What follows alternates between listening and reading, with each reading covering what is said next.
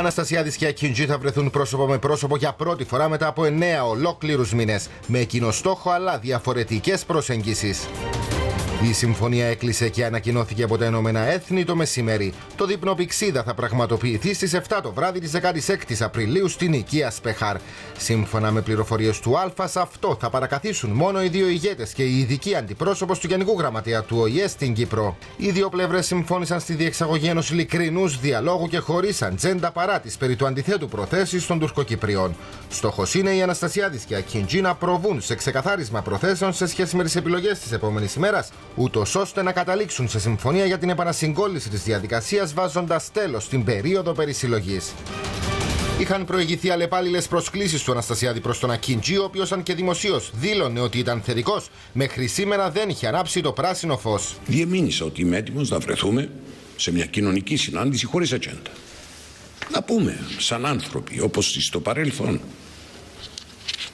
το ποια είναι τα προβλήματα που αντιμετωπίζουμε, το τι πρέπει να κάνουμε, να προβληματιστούμε, ποια είναι η προοπτική για το μέλλον. Σε συνέντευξή του στην ΕΡΤ, ο πρόεδρος μίλησε χθες βράδυ για τους όρους και τις προποθέσει που έθετε η τουρκοκυπριακή πλευρά για τη διεξαγωγή του δείπνου. Θέτει ως προαπαιτούμενο να αποδεχτώ πρώτη συναντήσεως είτε την εκπεριτροπής προεδρίας είτε τη, συνεκμε... τη δημιουργία επιτροπής συνεκμετάλλευσης ε, δεν είναι δυνατόν Προποθέσει οι οποίες σύμφωνα με κυβερνητικές πηγές ήρθαν. Αν και στο πίσω μέρος του μυαλού του, ο τουρκοκύπριος ηγέτη εξακολουθεί να έχει άλλα. Η νοοτροπία των Ελληνοκυπρίων πρέπει να αλλάξει.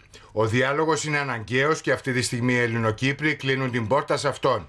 Εγώ θα προσπαθήσω να τους δώσω να καταλάβουν ότι η αλλαγή της νοοτροπίας είναι απαραίτητη. Λίγες μόλις ώρες πριν την ανακοίνωση των Ηνωμένων Εθνών, επικαλέστηκε για τον πιο πάνω ισχυρισμό το θέμα με τα τουρκοκυπριακά μοσαϊκά που αφαιρέθηκαν από τεχνική σχολή στη Λεμεσό, το λιντζάρισμα Ελληνοκύπριου καταστηματάρχη διότι πολλούσε πατάρες από τα κατεχόμενα και τις δηλώσεις Χαμπιαούρη μετά τη συνάντησή του με αντιπροσωπεία του ΕΛΑΜ.